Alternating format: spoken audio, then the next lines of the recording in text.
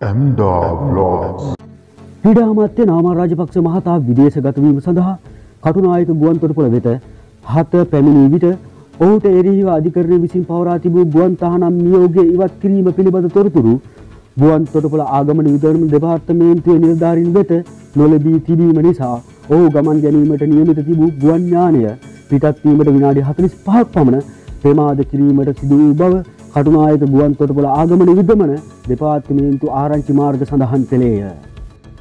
ක්‍රීඩා අමාත්‍ය නාමල් රාජපක්ෂ මහතා රාජ්‍ය අමාත්‍ය ඩී.වී. චානක සහ තවත් හත් දෙනෙකු සමග උදෑසන හතට එම්බ්‍රේට් ගුවන් සේවයේ EK හයිසිය පනස්සක දරන ගුවන් යානයෙන් දුබයි බලා පිටත් යෑමට කටුනායක ගුවන් තොටුපොළ වෙත පැමිණි ඇත. කොළඹගොඩුව මහස්ථාත් අධිකරණය විසින් නාමල් රාජපක්ෂ මහතා වෙත විදේශ ගුවන් තහනම් නියෝග දෙකක් පනවා තිබුණි.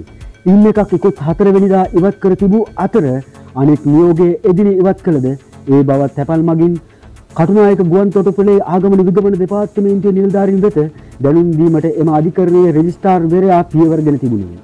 ඒ අතරතුර නාමල් රාජපක්ෂ අමාත්‍යවරයා විදේශගත වීම සඳහා කටුනායක ගුවන් තොටුපොළ වෙත පැමිණි තිබුණි. ඒ වන විටත් මෙම අධිකරණ නියෝගය අහෝසි කළ බවට වූ නියෝගය කටුනායක ගුවන් තොටුපොළ වෙත ලැබී නොතිබිණි.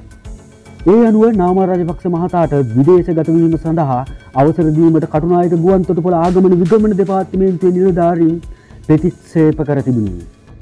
පසුව කොළඹ කොටුව මහස්ථාත් අධිකරණයේ රෙජිස්ට්‍රාර් වෙලයා මෙම විදේශ ගුවන් ගමන් තහනම් ඉවත් කළ බවට ඕ දැනුම් දීම් කටුනායක ගුවන් තොටුපොළ ආගමන විගමන දෙපාර්තමේන්තුවේ නිලධාරීන් වෙත දැනුම් දීමෙන් පසුව නාමල් රාජපක්ෂ අමාත්‍යවරයා ඇතුළු පිරිස රැගත් එම්රේට්ස් ගුවන් යානය උදෑස්සන දහයයි හතලිස් පාට කටුනායක ගුවන් තොටුපොළෙන් දුබායි බලා පිටත් වී ගියය.